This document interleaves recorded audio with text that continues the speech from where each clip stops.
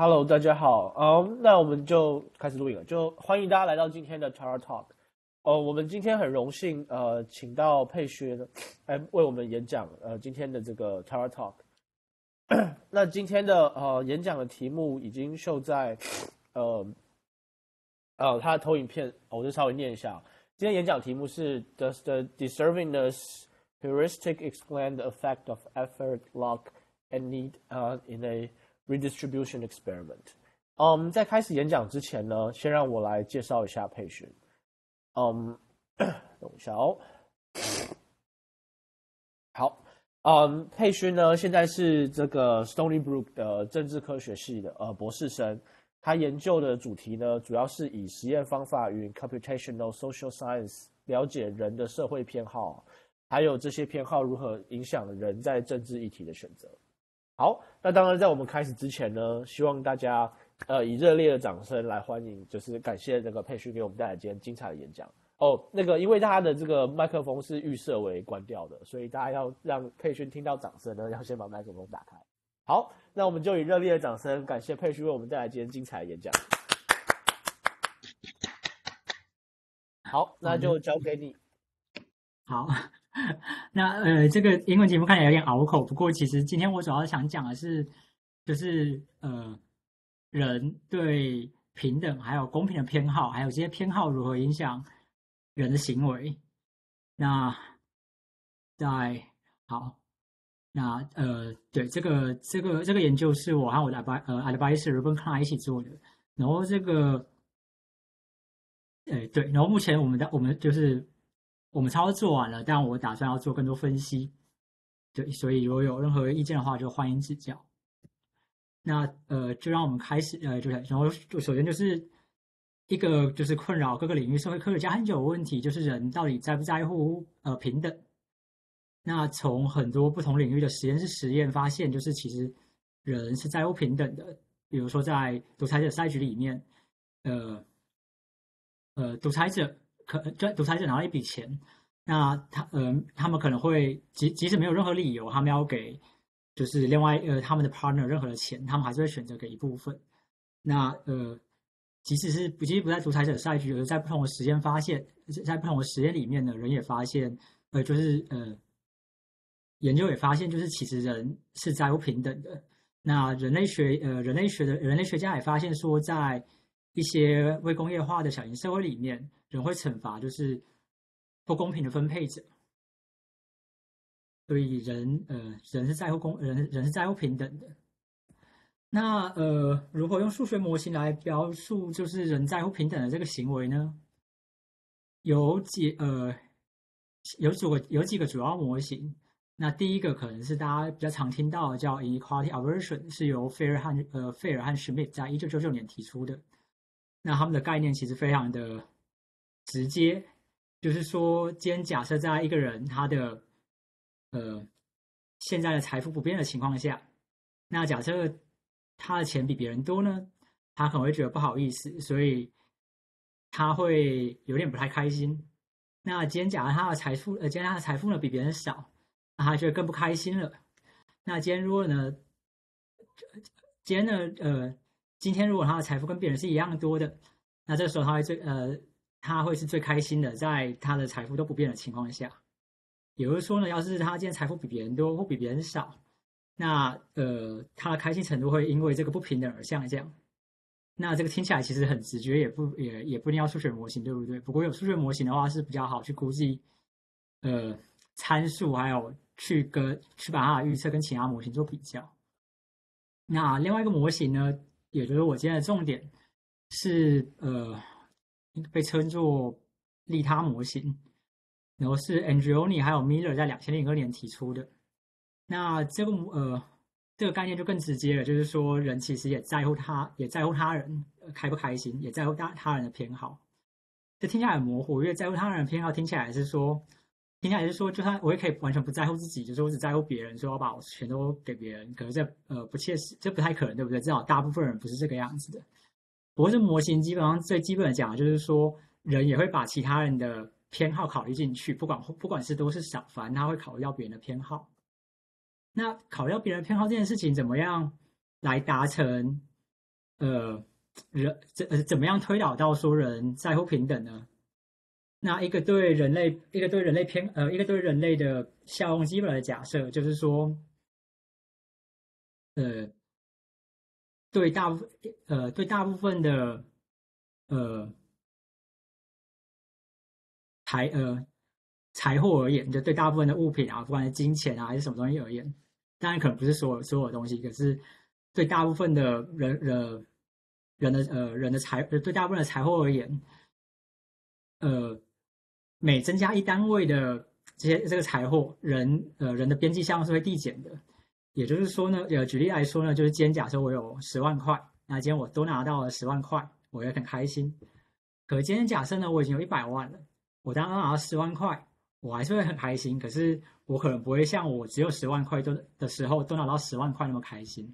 那今天假设我已经是亿万富翁了，那我现在都拿到十万块，那我就会。觉得说，嗯，我就可能就会觉得说，哦，有总比也没有好，但其实也不会开心到哪里去。那这也就是说呢，呃，假设今天有人，呃，假设今天假呃，假设今天有一个人已经很有钱了，然后都拿到十万块，他可能会蛮开心的。但假设呢，今天这个钱，假呃，假设这个今天这个人他在乎另外一个人，不管在乎多少，在在他在乎别人的情况下，那假如今天这十万块是给另外一个。比较穷的人家，他这个人只有十万块，然后他也在乎这个人，那他可能，然后呃，另外一个人拿到十万块，可以带给他的呃开心程度，可能就会比他自己拿到十万块还多。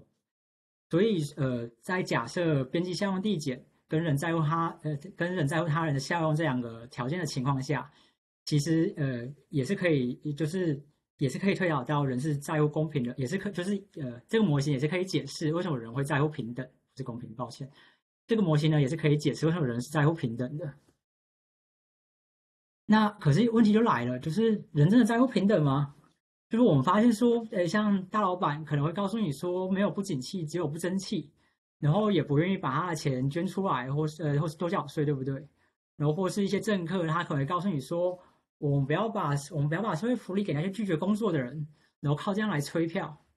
那这是代表说，其实人，呃。可能不在乎平等，人在乎的其实是所谓的公平。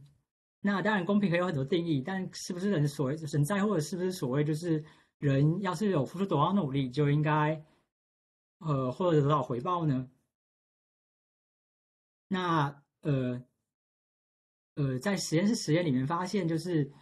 如果今天，如果今天的呃在实验室里面的收入是透过。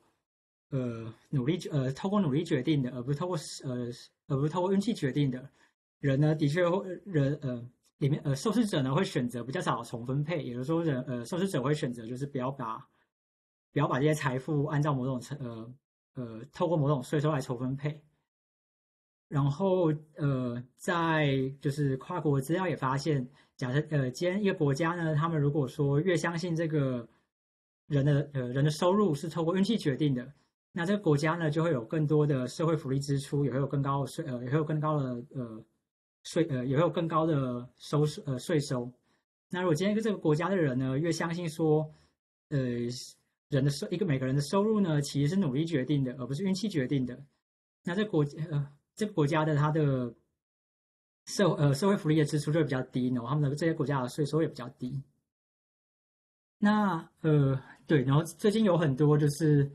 呃，我现在回顾就在讲讲一件事情，就是说为什么人偏好其实为什么人其实偏好不平等的社会？然后有人觉得这些不平等的社会其实是公平的。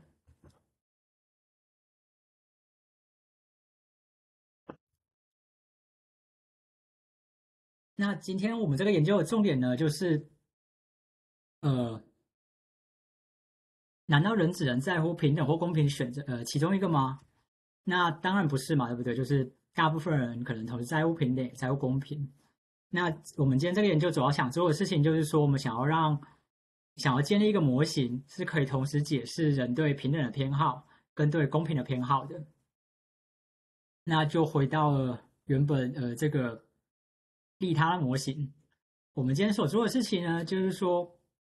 就这个利他模型假设人是在乎其他人，呃，在乎其他人的，那当然就是。可能在乎的程度会根据情况啊，还有个人的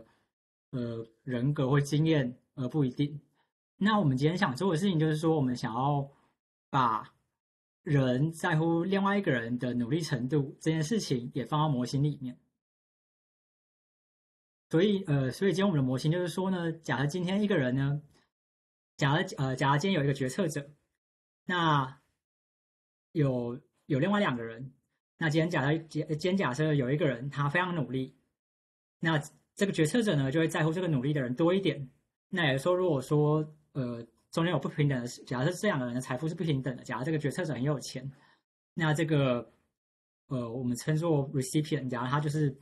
呃没那么有钱，可他非常努力，那这时候就这决策者呢，可能就会非常在乎这个 recipient，然后给他多一点的呃决定决定做出多一点的重分配，给他多一点的钱。那反之而言，如果另外有人要一个 recipient，那他可能没那么努力，那这个呃这个。决策者就会觉得说，就不会那么在乎这个人的偏好，那在重分配的时候，就会选择给这个人少一点的钱。呃，对。那为了呃，就是验证我模型的预测，所以我们就呃，我们就说呃，为呃，为了验证我们为了验证我们模型的预测，我们就我们就是呃，我们就设计一个实验室实验。那我们的实验室实验呢，主要是招收呃我们学校的 Stony Brook University 大学生。那在这个实验里面呢，我们会根据他们的做的决定给他们不同的钱，所以，呃，他们在实验室，他们在实验结束之后所可以拿到的钱是根据他们在实验室里面的所做的决定而决定的。那这是我们的实验室，不过这个是摆拍而已，这不是，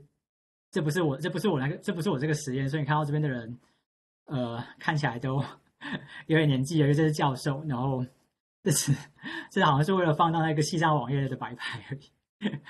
然后，呃，我这个实验其实也没有在这个这个实验室，也没有在实验室做。那因为刚好在收受试者的时候是在疫情之间，所以这个实验这个实验其实在线上做的。那我们的实验室设计是这样子的，就是以，就是一开呃，在这个实验的在这个实验的一开始。这个受试者可以，受试者可以决呃，我这个说不不不好意思，在这个实验室，在这个实验的一开始，受试者可以决定他们，受试者会会需要做这个，可以决定要不要做这个 task。那这个 task 呢，我们称它叫 counting zero task，就是他们需要数里面有多少呃多少个零，然后他们需要把呃答案答案写在这边，然后送出。那当他们答对了，他们就会得到报酬。那这个每答对一次得到的报酬呢，是随机决定的，可能是一块美金或两块美金，每个人不一样，不过是随机决定的。所以有人是一块美金，有人是两块美金。那这个收视，呃，我们每个收视者可以自己决定他想要做到是多少个 task，他可以选择完全不要做，就跳过这个步骤。然后他最多呢可以选择做到十个 task。那在这个 task 之后呢，我们会把受试者做随机配对。受试者做随机配对，那其中一个受试者会被指定为决策者，那另外一个受试者会被指定为 recipient。那这个决策者呢，可以决定他们想要把他们从这个 task 里面赚的钱分多少给这个 recipient。那这个受试者呢，会知道说这个 recipient 他的薪资是多少，还有他完成几个 task。那在我们这个实验里面呢，我们采用的是我们采用的是一个方法，呃，采用的是一个实验方法叫 strategy method，也就是说呢。我们其实会让受试者回答所有的、所有呃、所有薪资跟完成几呃这个 task combination。所以其实这边我们有两种薪资，有十一种不同的呃 effort level，所以有呃二十二个 combination。所以这个决策者呢，需要根据每个不同的 combination，就不同的薪资跟不同的完成 task，呃，跟不同的呃完成 task 的数目来来来做决策，说他想要分给这个 recipient 多少钱。从他赚的钱里面分给这个 recipient 多少钱？不过最后呢，他这些二十二个决策里面，只有一个决策会实现。那实现的这个决策就是说，他们实际配对到这个实际配对到这个 recipient，他到底实际的薪资是多少？完成几个呃实际完成的 task 是多少？然后就只有那个就只有那个决策会实现而已。也就是说，二十二个决策里面，就其中一个决策是实际这个实际呃是实际呃是。是符合就是这个刚刚配对的 recipient 的这个这个决策是会被实现的。那实现之后呢，也就是说他赚的钱会真的分给这个 recipient。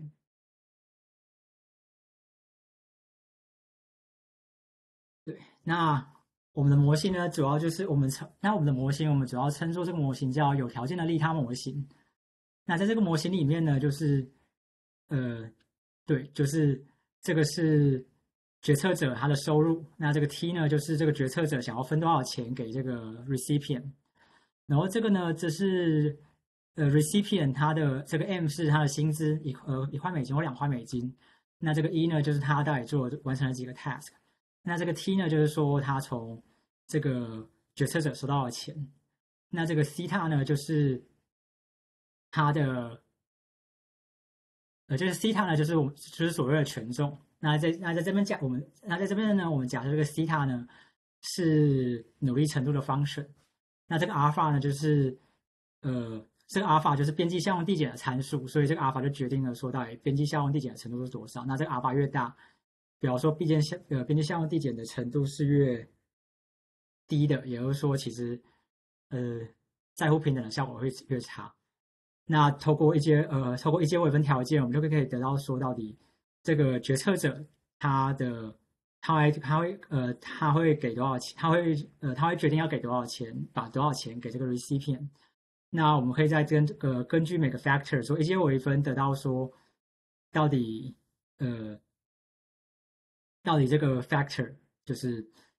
呃这个 recipient 的 income 啊努力程度之类的如何来影响这个呃决策者要给这个 recipient 多少钱？那在这个模型底下，我们有呃几个预测。那第一个预测呢，就是说只要这个呃权重是大于等于是大于等于零的话，那在决策者的收入跟 recipient 的努力程度不变下。当 receiver 的收入越高，决策者的重分配会维持不变或是更少。那我们把这个叫做 inequality effect effect 或是 net effect。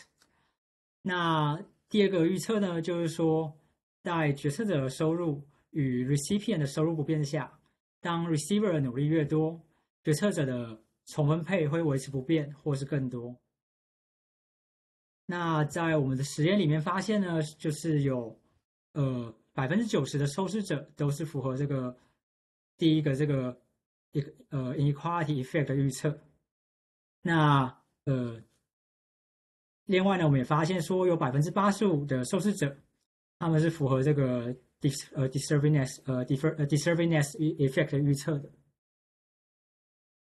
那另外呢，我们也跑了就是 random effect 呃 regression。那我们也发现说呢，这个受试者，他们一旦受试者的这个呃收入越高，那的确就是，那呃那这个呃 random effect 呃对，不好意思，那我们也发现就是收入一旦受试者的受试者的不好意思，一旦 recipient 的那个收入越高，那受试者也也会选择把更少的钱这个给这个 recipient。那一旦这个 recipient 他的努力程度越高，那呃受试者会选择把更多的收入给这个 recipient。那我们的另外一个预测就是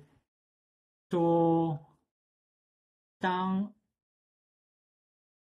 我们另外一个呃，不好意思，我们另外一个的预测就是说，我们今天实际上指定一些参数给这个模型，我们就是实际上去呃假设这个呃权重的这个 function。那我们这边就是用比较简单的预简单的假设，我们假设它是线性的。那这个线性假设呢？我们假设这个权重是有一个 baseline 的权重的，也就是说是当这个受试者完全不努力的情况下，那这个最基本最基本的这个权重是多少？也就是说，假如这个受试者完全不努力，那这个决策者会在在会有多在乎这个 recipient？然后另外一个参数就是说呢，一旦就是这个受试者不是一旦这个 recipient 每增加一单位的努力程度，那这个权重会增加多少？那我们用两组不同的参数下去做下去做假设。那第一组参数呢，就是说，呃，第一组参数就是说，这个权重的 baseline 非常高。有的时候，假设当这个 recipient 完全不努力的情况下，这个决策者也非常在乎这个 recipient。然后这是左边这个图。那右边这个图呢，就是说，当这个 recipient 呃这个权重的 baseline 非常低，有这个决策者完全不努力的，呃这个 recipient 不好意思，这个 recipient 完全不努力的情况下，决策者并不太在乎这个 recipient，但是这个权重呃但是当呃 recipient 每增加一单位的努力，每增加一单位的努力的情况下，这个权重的增加是比左边这个多的，然后你看就是权呃这个权重的增加程度是比左边那个多的。然后这两张图就是我们的预测。那在这边呢，就是横轴是 recipient 的收入，那这个纵轴呢，就是决策者决定要把多少钱给这个 recipient。那注意到就是这边的横，那注意到就是这边就是因为横轴是那个 recipient 的 income，所以一旦 recipient 的 income 越高，代表说其实这个 recipient 的努力程度也越高，然后。这边分有两条线，那两条线就是控制 recipient 不同的薪资，所以你可以看到，哦，你可以看到左边这个图，这两条线其实是重叠的，也就是说，其实，在左边这个假，在左边这个假设下，在在这个决策者并不在乎 recipient 的努力程度的假，嗯，不在乎这个 recipient 的努力程度，但这个权重的 baseline 非常高的情况下，其实薪资是不会带来任何差异的。那一旦这个 recipient 的收入越高，这个决策者呢会选择呃给这把更少的收入给这个 recipient。那右边呢，你可以看到就是呃 recipient 在 recipient 的的薪资不同的情况下，这两条线其实是分开来的。那你可以看到说，当呃 recipient 的收入越高，其实同时这同时也代表说，因为这是每一条线代表说固定 recipient 的薪资。你可以看到说，在 recipient 的收入越高的情况下，其实这个决策者呢会选择把更多的收入给这个 recipient。那我们发现呢，就是其实，然后根据我们的结果，我们发现其实，呃，不好意思，根据我们的实验结果，我们可以把这些受试者主要分成四种 type。那第一种 type 呢，就是说他们不太呃对这个 recipient 的努力程度很 sensitive，那我们把这个 type 叫 sensitive type。那这 sensitive type 呢，大概占了百分之二十五的受试者。那另外一个 type 呢，就是说这个决策者呢，并不太在乎这个 recipient 的努力程度。那这种呢，我们把它叫做 insensitive type。那这种受试者大概占了百分之二十。那第三种 type 呢，就是这个受试者呢是完全，呃，这个决策者是完全不给 recipient 任何收入的。那就是他只在乎自己的收入，那我们把它叫 selfish。那最后一种呢，就是他完最后一种收入者，就是他们完全没办法被归类归类于这三种的任何其中一种。那我们把那这个我们就把它叫 other。那我们发现呢，当我们把当我们分析就是 sensitive type 跟 insensitive type 的时候呢，不好意思，这个顺序有点颠倒，左边这是 insensitive，那右边这是 sensitive。我们发现呢，其实这个。结果呢是完全符合这个，应该说不能说完全符合，可这个可这个结果呢是符合我们这个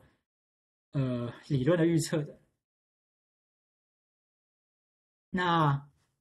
呃，所以这个我们今天这个研究的主要结论就是说呢，我们的模型同时考虑了平呃平等跟公平。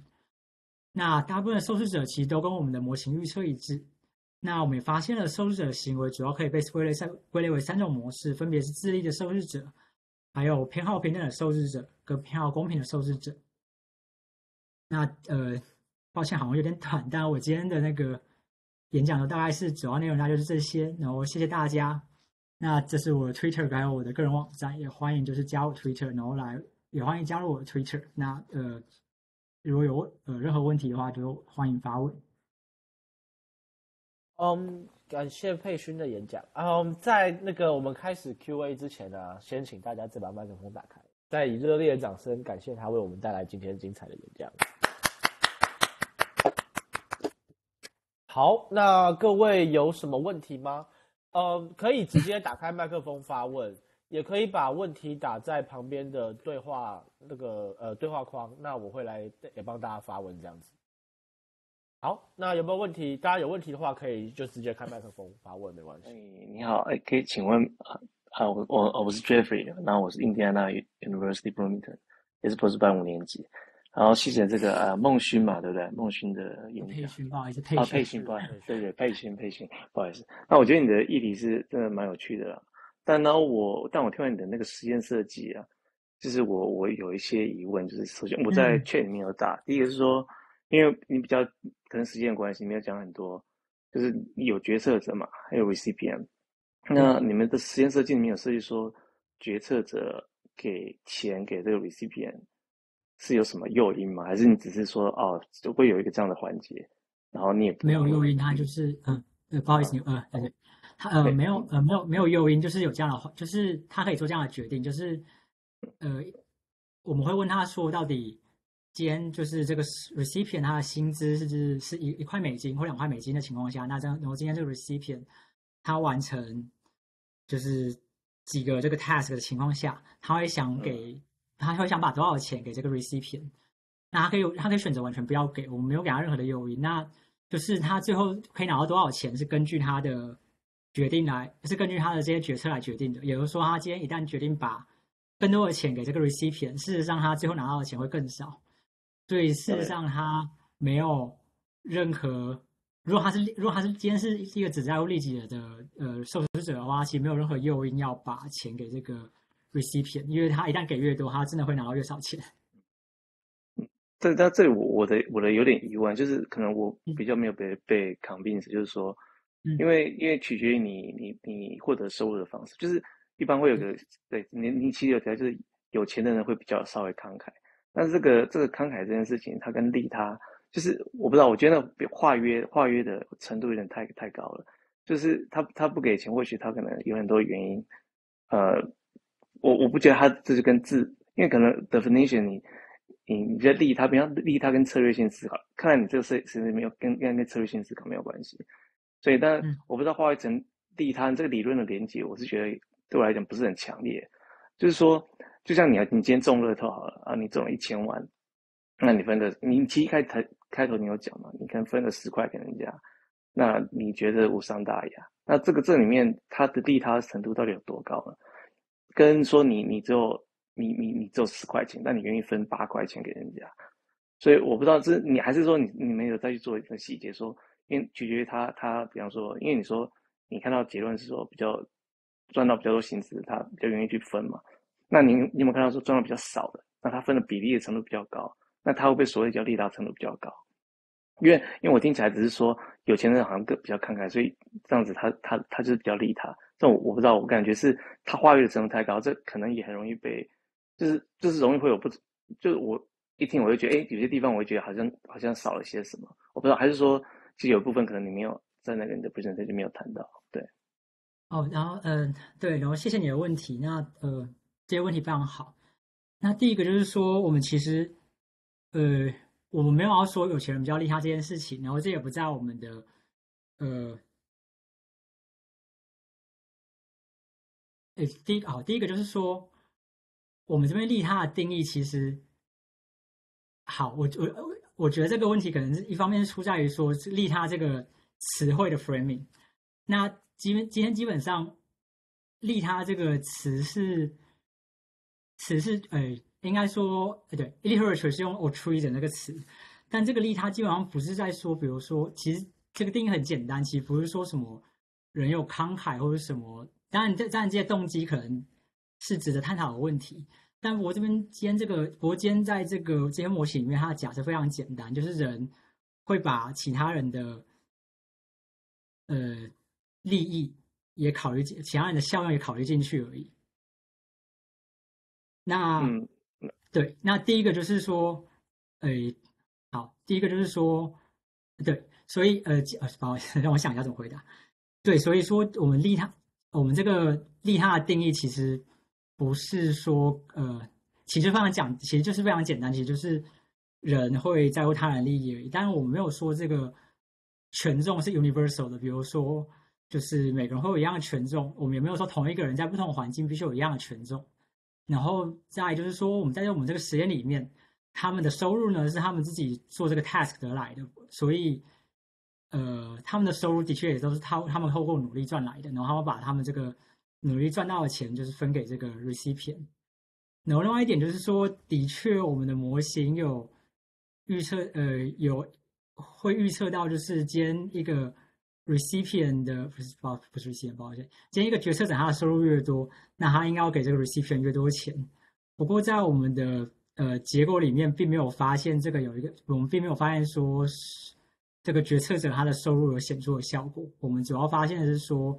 这个 recipient 他的收入还有 recipient 的努力程度，会对这个决策者他的他要决他他要决定要给多少钱有显著的效果而已。嗯，对啊，那不好意思，再做一个问题。那请问决策者是怎么看到这个比他 recipient 的这个努力的程度呢？努力程度你们是怎么怎么呈现的？我们有给他资讯，就是我们其实我们就是问这样的问题，就是我把那个时间界面给秀出来。就其实我们就是问这样的问题：假设今天跟你配对的这个 recipient，他呃他的薪资呃他赚了一块钱，那他呃他他的那个每个每每完成一个 task，他的薪资是一块钱。那你想把多少钱给给这个呃 recipient？那就像我刚刚说的，他们必须回答二十二个问题，就是我我们会问他。每一个呃收入跟薪资的 combination，然后这边一零到十块钱呢是根据这个决策者他实际的收入做决定的，所以这边显示十的原因是因为这个这个例子，这个决策者他从这个他从 real effort effort task 里面赚了十块，那如果今天这个决策者呢他只赚了五块，那就会只会显示到五而已。那如果今天这个决策者没有赚任何钱，那就只会显示零。那当然他们就只能只能选零。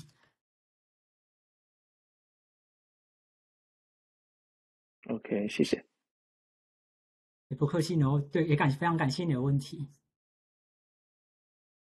嗯，好，那在大家想想有没有其他问题之前，先让我来念一下有人把问题提出在这个对话框里面。好，呃，这个不好意思，我可能会不知道你的那个中文拼音是什么，就是 Jeffrey 王，啊，他问了一个问题。他说：“实验设计有给决策者，那就是我啦。我刚刚问过了，我刚对对对对对。OK OK，对，所以，就是你。OK OK OK，好，那 OK 好，我还有一些其他事情，就是让大家在这个想一想有没有问题要发问的这个中间呢，让我来就是帮 Tara 广告一下的一些活动，这样子。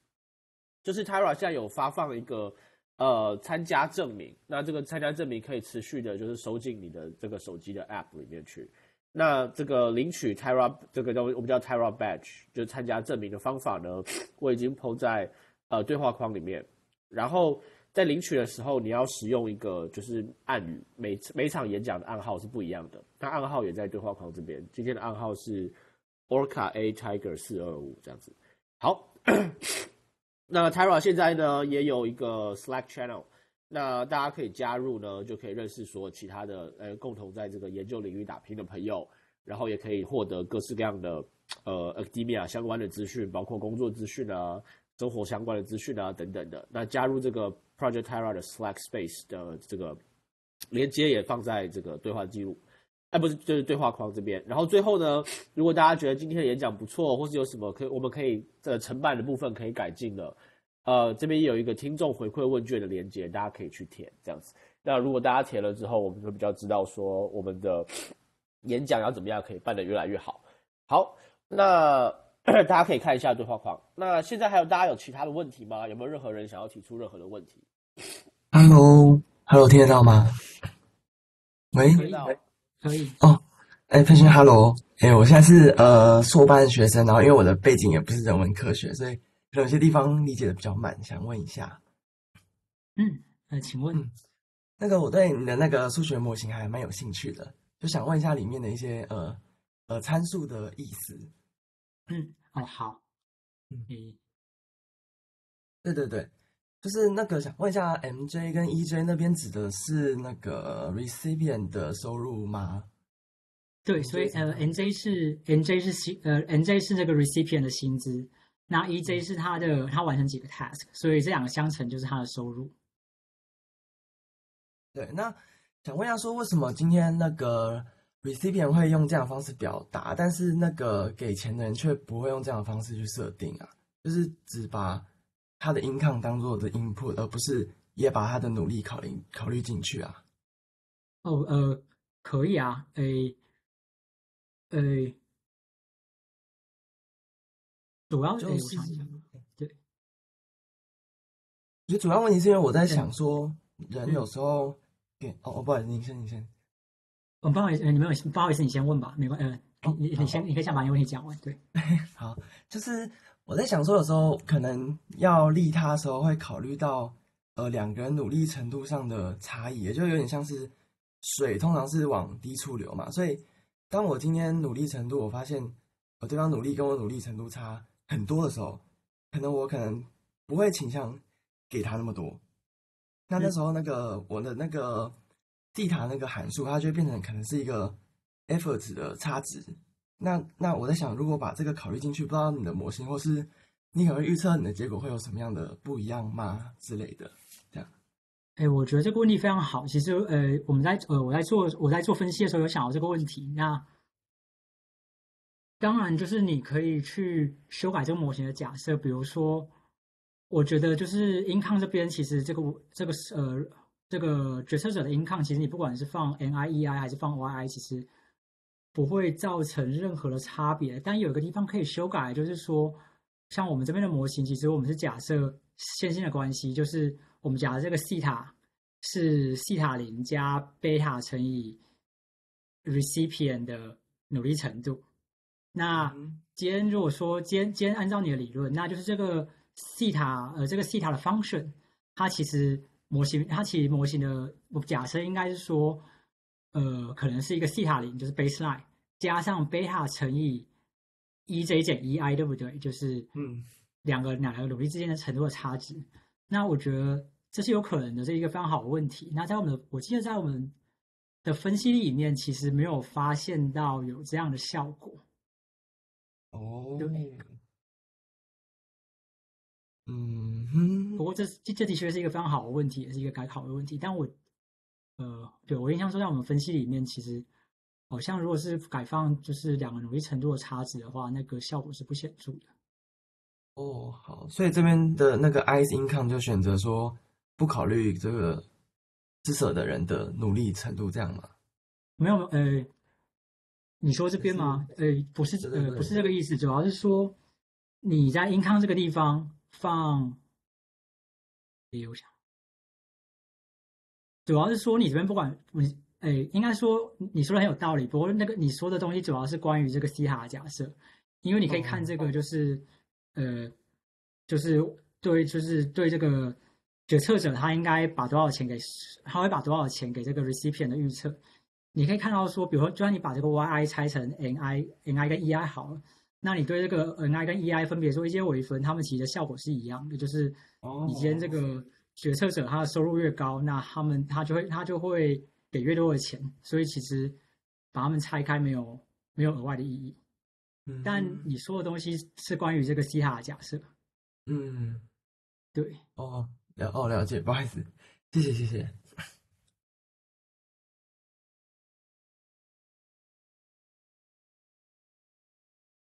OK，好，那大家还有其他的问题吗？